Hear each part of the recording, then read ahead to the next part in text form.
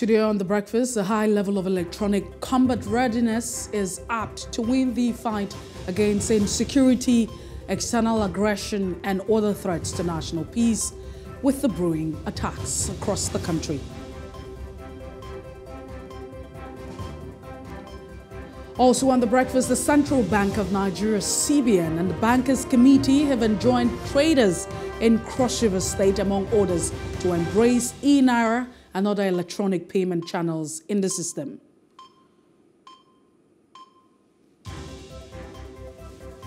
And don't forget, we'll also be looking through today's newspapers, analyzing the biggest stories of the day.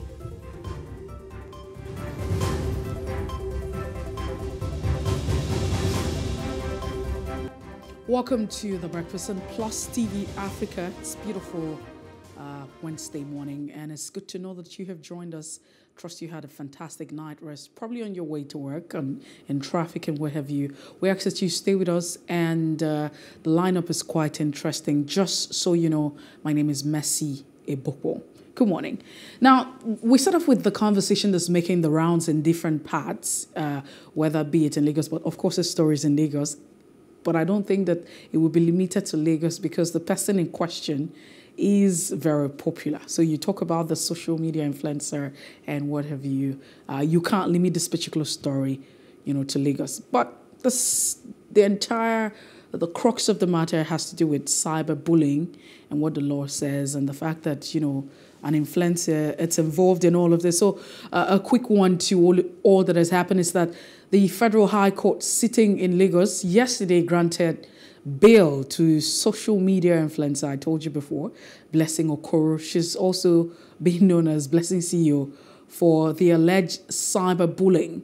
Now, the Nigerian police force had arraigned Okoro, who uh, Blessing Okoro, who is popularly known as Blessing CEO before the just uh, Justice Yellim Bogoro of the Federal High Court on six count bordering on alleged cyberbullying libel uh, for existing exhibiting on censored movie. Uh, that's basically it. The Council for Blessing filed that particular bail application before Justice Tijani Ringim of the Federal High Court in Lagos on her behalf. Uh, however, the court had granted Blessing CEO bail in absence of opposition. Regarding bail condition, the police urged the court to use its discretion. I'd like to say hard discretion. So in all of this, that the court decided to use a discretion was that uh, she was admitted to 10 million naira bail each with two shorties in like sum. So you're going to have two shorties in like sum, 10 million naira and what have you. But uh, reports say that she's going to be, you know, there. She's going to be remanded up until May. Now, let's even get to the crux of the conversation. Don't forget that this is actually still in court, and so it's sub judice. I mean, you can't begin to talk about the merits of this conversation, so you don't preempt the court or, you know, preempt what will happen. Uh, the police prosecutor have, however, said, and in all of this, these are some of the issues why she was arrested, uh, arraigned, and of course, bail has been granted, is that in a piece of proof of information which was filed before the court, it stated that Okoro Blessing of uh, Lekki, she lives in Lagos apparently, on October 16, 2022, intentionally sent messages using her Instagram handle at official blessing CEO to bully and threaten and harass one Falasha Day Samuel, also known as Mama Jazz, uh, younger sister to the late Bimbo uh, right? And so the police also accused the blogger of using her Instagram handle at uh, Official Blessing CEO to harm the reputation of Falasha Day Samuel, among others, uh, and the late Bimbo by exposing them to hatred, contempt, and ridicule. Uh, accusing also, she was also accused of exhibiting a film and a video work titled Sweet and Sour without a censorship and certificate uh, without holding a license, which was supposed to be issued by the National Film and Video Censors Board. So, however, the prosecutor further identified some of the messages the blogger had sent, uh, you know, to these persons. Let's ask Mama Jazz where her father is. Uh, if you follow this particular story, uh, you would un- understand it's the IVD's story. Okay, so I remember I saw this. Where is her father? Your father had same issue with the mother, Ebele, and ran away. You know, for his dear life. IVD's crime was that he was not man enough to run away. The family of late Bimbo is of uh, is after IVD's properties and life. Uh, I want you to know that if you follow the Bimbo story, we can't bring you, you know, to speed. But if you have followed the story, these are some of the response, especially her elder sister, Mama Jas Bimbo. IVD are, you know, IVD is well known uh, in Lagos, and it's a not hidden fact that even in their estate, Bimbo is violent. Everybody knows how she breaks bottle on her husband's head on a daily basis. Bimbo killed herself and has always wanted to kill herself right from childhood. Evidence is loading. All the voice notes and evidence will be on your YouTube and Facebook. You know, subscribe. She she wrote all of this. I will ask Mama, uh, you know, Mama Jas, the late Bimbo sister, a few questions. Where is uh, Sikh in your? You talked about the terms in your sister. She died. Are you owing your late sister 18 million? Did she block you before she she died? Do you even like your sister's children? Answer this question because oh no, I, am feeling very depressed and tired, you know, trying to read all of this this morning, but I'll cut it off. If you follow this story where Blessing CEO and IVD was, you know, very prominent, certain Bimbo had died following a report that, you know, she was in a domestic or abusive relationship. And, you know, you ask yourself, what's the correlation? What's the correlation between Blessing and IVD and Bimbo that had died? I mean, how can you just wake up and just be involved in another man's story? Uh, basically, so, but the police actually told the court that the offense that the defendant and the accused, uh, we need to look at that, committed was in contradiction to section 24, subsection 2A and subsection 1 of the Cyber uh, Crime Act, Prohibition and Prevention Act of uh, 2015, and section 375 of the Criminal Code Act. Uh, that also reported, there was also a report that it also contravened section 33 of the, uh, the Film Act, that's the NFVCBD Act of 2004, where she put out a movie without getting the license and censor.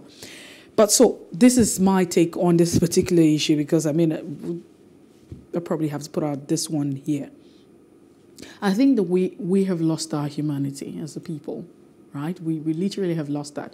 Now I'm I'm trying to ask myself, Blessing CEO, the IVD story, Bimbo, what's what's the correlation? Why are you in another man's business so much? I mean, what exactly is it? Are you the attorney? Are you the defense counsel? Why could you be so involved and you know putting out statement when you have someone who's died? Uh, you can't even. It's a lot of pain to grapple with, and so just imagine that you have someone who's lost a loved one, and then these are some of the statements that you begin to put out. At, at what point? What's the correlation? What's the connection? How can you be so involved? But then maybe we live in a climate where we haven't really paid attention to the laws that we have. But you also need to understand that uh, there are laws and rules that govern our behavior as a people. And we can't continue to act, you know, erratic, indiscriminately. We can't continue to act without, uh, you know, the fact that understanding that we're humans and what have you. So I have seen different uh, conversations following CEO, uh, Blessing CEO, because she's quite influential. I mean, uh, she has a presence on social media, and that's why it's it's uh, the talk, you know, in different parts of uh, the social media space. You know, with her action. But I say, whatever's going on, we need to take a breather and always understand that we're dealing with human beings at every point in time. We also need to, you know, uh, to take a breather understand that these persons are humans and you, you can't just go all out. Someone has lost you know a loved one. That's a mother. That's a sister. That's also you know a friend you know she could be anyone. I mean we're not just limiting i'm not limiting this particular story to being born out. I'm saying that when someone um, you know lose a loved one you have someone who's died i think it's just important that you you you just be there and and be sensitive to some extent. So I, I think that what's actually lacking for Blessing CEO what actually happened because some people think that she's she's having a bit you know a, a taste of her own medicine and whatever she's getting right now it should be commensurate to the pain that she has caused you know, members of family. I just think that in the course of us doing our jobs, being influencers and being whatever it is that we have to be as a people, we also cannot take out the fact that we're dealing with human beings. We can't, you know, remove that other aspect of us. We're human first of all before we're any other stuff, and then you have to begin to think about what your actions would be. I mean, your, the comments that you're making how would he, you know, leave the other party? These people are mourning, and just going ahead to say all of these things. Do you leave with them? Do you have the facts? Do you know what actually transpired? I mean, how how how how so do you have so much information about the situation? These are some of the concerns that a lot of Nigerians have raised, but we need to move away from that quickly because. Next on the top trending, what a lot of Nigerians are talking about on social media and off social media space is the fact that there's been uh, an unfortunate incident with kidnap of school children in Kaduna, the State Police Commissioner for Internal Security and Home Affairs, Samuel Aruwan, confirmed that uh, in a statement, the students of government secondary school, Awan Day Secondary School to be precise, were kidnapped. That was on Monday, and today's Wednesday, so we're looking at you know three days or uh, two days from now. They were kidnapped, and the State Commissioner for Internal Security and Homeland Affairs had also confirmed that statement of the students who were, you know, kidnapped, and uh, the entire social media space is on talking about this. The commissioner explained that they didn't really state the exact location where this uh, incident had taken place, but of course, it also agreed to the fact that yes, there was a kidnap. But um, details and, and reports are saying that these students were taken away, you know, abruptly it's very unfortunate. We know how we have grappled with, uh, you know, story of students who just went to school, and you ask yourself what exactly is the crime in going to school, and just while they were in school, they were, you know, taken, and uh, they were kidnapped, and a lot has actually happened with them. So yes, uh, it's it's pretty unfortunate.